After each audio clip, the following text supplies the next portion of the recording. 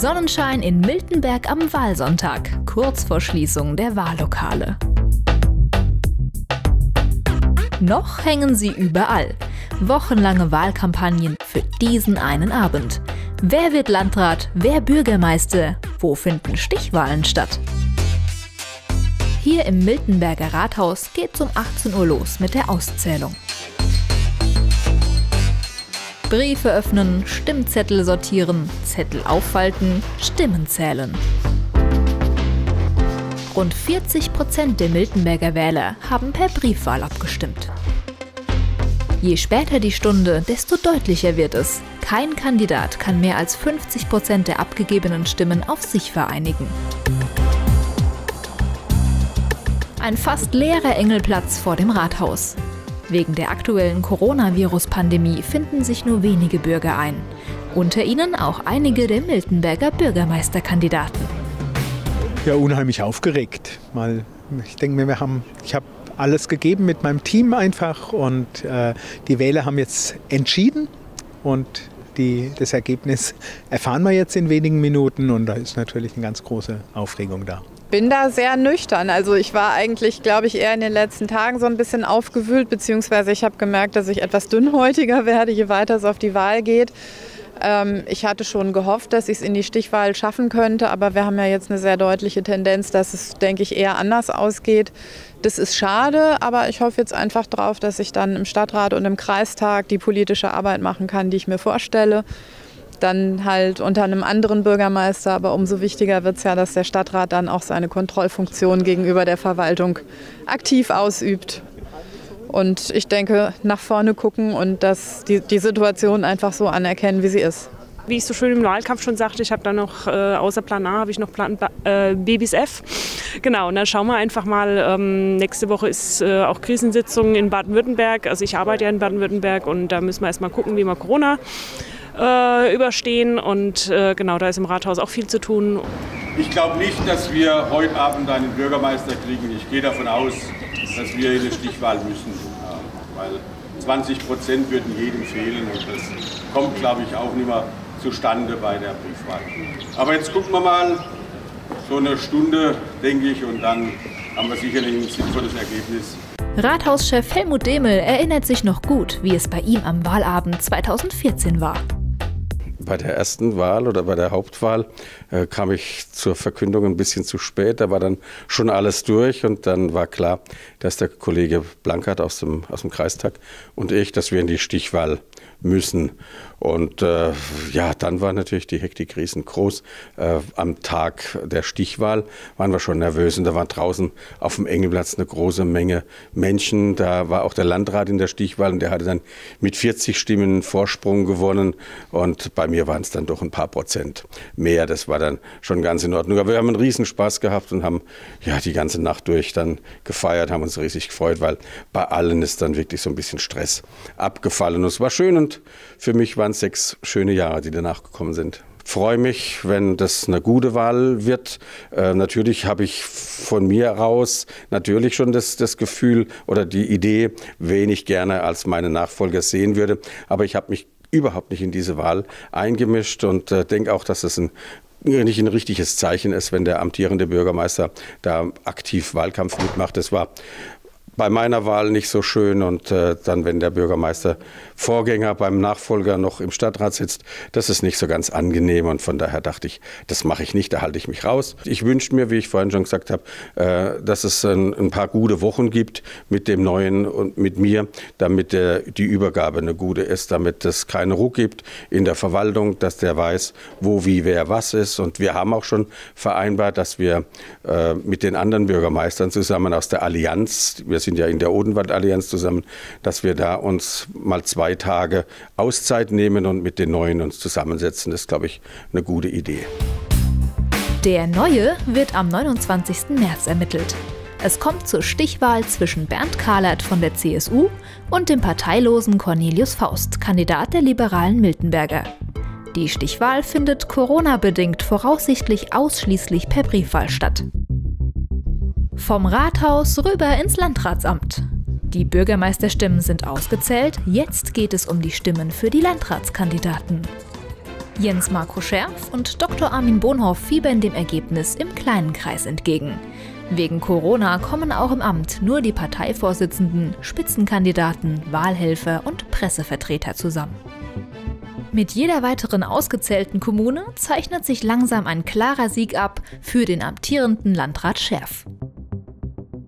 Herausforderer Armin Bonhoff nimmt's sportlich. Ja, ich habe gedacht, 40 plus wäre möglich. Hat leider nicht geklappt. Also eigentlich wollte ich gewinnen, aber ab 40 plus habe ich gedacht, das kriegen wir auf jeden Fall. Liegen drunter.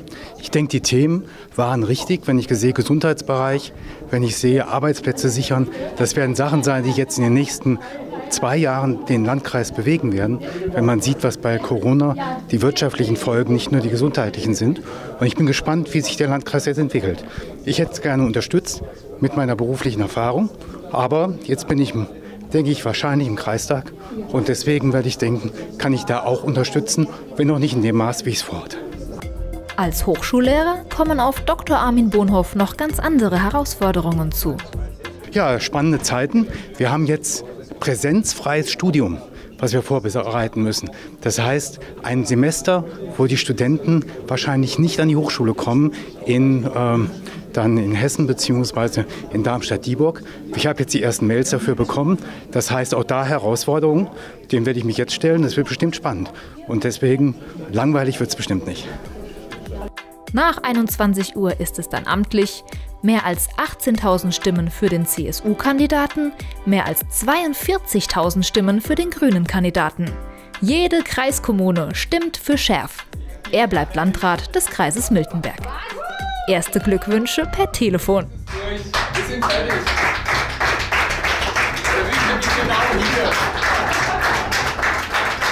Ich möchte mich dafür ganz, ganz herzlich bedanken.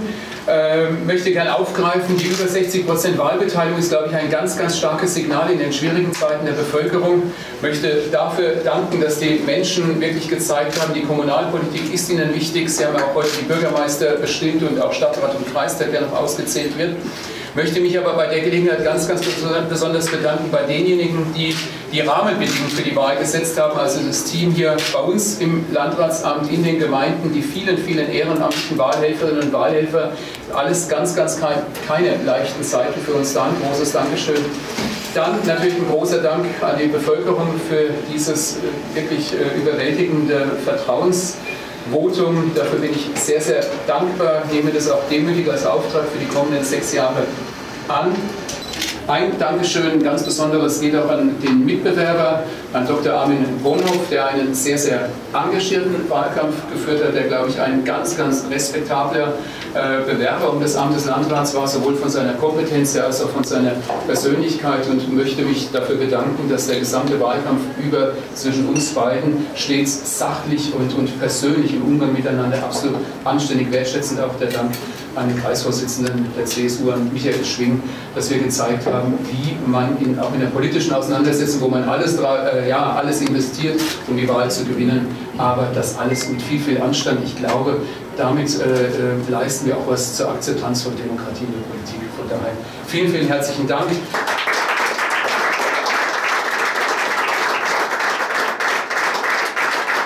Lieber Marco, liebe Anne, meine sehr geehrten Damen und Herren, schwierige Zeiten, da war die Rede davon, aber heute ist ein sehr guter Tag für dich, Marco, vom Ergebnis her. Ist ein sehr guter Tag für den Landkreis Mittenberg, ein sehr guter Tag für die Demokratie. Wenn man mehr als 60 Prozent Wahlbeteiligung in diesen Zeiten erreicht, ist das, glaube ich, ein richtig gutes Zeichen auch. Und es ist ein sehr guter Tag für die grenzüberschreitende Zusammenarbeit. Aufatmen beim Landrat.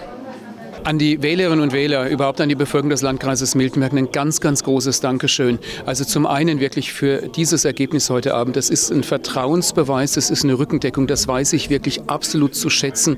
Und es spiegelt auch das wider, wofür ich mich auch bedanken möchte. Nämlich in den letzten Wochen und Monaten habe ich so viele persönliche Rückmeldungen, äh, Briefe, äh, E-Mails bekommen. Ja, wenn, wenn ich irgendwo auf der Straße Menschen begegnet bin, da kam so viel äh, Herzlichkeit, Wärme und Rückendeckung. Dafür wirklich vielen, vielen Dank. Das macht dann am Ende auch Politik wirklich schön und lebenswert, wenn man merkt, dass es bei den Menschen ankommt, dass man es ehrlich meint und sich mit Leidenschaft und Kompetenz da reinhängt und was bewegen will. Also von daher vielen Dank, es ist angekommen und es ist Verpflichtung und Verantwortung für die nächsten sechs Jahre für mich. Ich glaube, vor vielen Wochen hatte ich mir gedacht, Mensch, das ist ein Abend, wo ich mich jetzt mal komplett alles sacken und fallen lasse. Aber aufgrund auch der Corona-Krise, äh, die wir gemeinsam bewältigen müssen, geht es morgen früh um 8 Uhr mit der kleinen Lagebesprechung hier im Landratsamt weiter. Also heute kurze Freude, morgen früh um 8 Uhr wieder harte Arbeit, weil das muss uns klar sein, um diese Herausforderung Coronavirus zu bewältigen, müssen wir jetzt alle zusammenhalten und die nächsten Wochen sehr, sehr effektiv und konsequent besonnen, besonnen, aber konsequent handeln. Da sind wir jetzt alle gefordert, damit wir diese Krise bewältigen und damit in ein paar Wochen oder Monaten wieder das normale Leben schrittweise beginnen kann. Also ich werde heute Abend auf alle Fälle noch nach Mönchberg zu meinem Stellvertreter Thomas Zöller fahren, der heute auch einen grandiosen Vertrauensbeweis als Bürgermeister für Mönchberg äh, erhalten hat. Und ähm, nachdem ich jetzt auch auf diesen offiziellen Gratulationschor äh, äh, durch, durch den Landkreis verzichte, eben wegen Corona, um auch zu zeigen, wir müssen da unsere sozialen Kontakte reduzieren. Aber meinem Stellvertreter bin ich die letzten sechs Jahre so gut und so vertrauensvoll und perfekt zusammenarbeiten konnte. Das muss sein, dass ich heute Thomas Zöller in die Arme nehme und wir uns einfach darüber freuen. Startschuss für die nächsten sechs Jahre Amtszeit. Alle Ergebnisse zu den Kommunalwahlen in den Kreisen Miltenberg, Aschaffenburg und Main-Spessart finden Sie auf meinenews.de.